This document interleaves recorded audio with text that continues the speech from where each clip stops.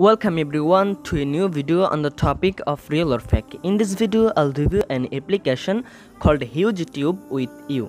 And এই অ্যাপসটির five hundred ডলারের উইথড্রল শেয়ার করব যেটি দেখলে আপনারা জানতে পারবেন Huge Tube app real or fake Huge Tube app legit or scam and Huge Tube app really payment or not so please watch the full video for details প্রথমত আমি আপনাদের সাথে উইথড্রল শেয়ার করব তো অ্যাপসটিকে যখনই আপনারা ওপেন করে দিবেন উইথাউট রেজিস্টার অ্যান্ড সাইন আপে সরাসরি অ্যাপসটি ওপেন হয়ে যাবে অ্যান্ড এখানটার মধ্যে আপনারা ভিডিও অ্যাডস ওয়াচ করতে পারবেন অথবা ভিডিও ওয়াচ করতে পারবেন, যার বিনিময়ে মানি আর্নিং করতে পারবেন। অ্যান্ড যখনই আপনাদের ব্যালেন্সের মধ্যে ফাইভ হান্ড্রেড ইউএসডি ডলার হয়ে যাবে, তখন জাস্ট নিচের এই রিডিম অপশনে ক্লিক করে দেওয়ার পর এরকম রিডিম পেজটি চলে আসবে। এখানে পেপাল পেমেন্ট মেথড সিলেক্ট করার পর ফাইভ হান্ড্রেড ডলারের পাশে রিডিম অপশনে ক্লিক করে দেওয়ার পর এরকম ইন্টারফেস চলে আসবে। এখানে আবার রিডিমে টাচ করতে হবে দেন এখানে আপনাদেরকে আপনাদের পেপ্যাল ইমেল অ্যাড্রেস বসিয়ে আবারও কনফার্মে টাচ করতে হবে।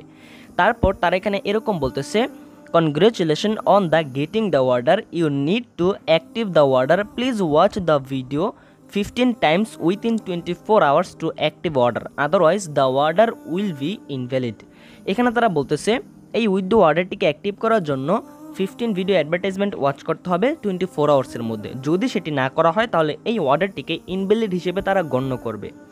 এখন কথা হচ্ছে, যদি আপনারা তাদের কথা অনুযায়ী ফিফটিন ভিডিও অ্যাডভার্টাইজমেন্ট ওয়াচ করেন তাহলে কি এখান থেকে পেমেন্ট রিসিভ করতে পারবেন কি না অথবা এই অ্যাপসটিকে আসলে রিয়েল নাকি ফ্যাক এই অ্যাপসটি রিয়েল নাকি ফ্যাক বিষয়টি জাস্টিফাই করার জন্য প্রথমত আমি আপনাদের সামনে এই অ্যাপসটির নাম্বার ওয়ান নেগেটিভ পয়েন্ট তুলে ধরছি।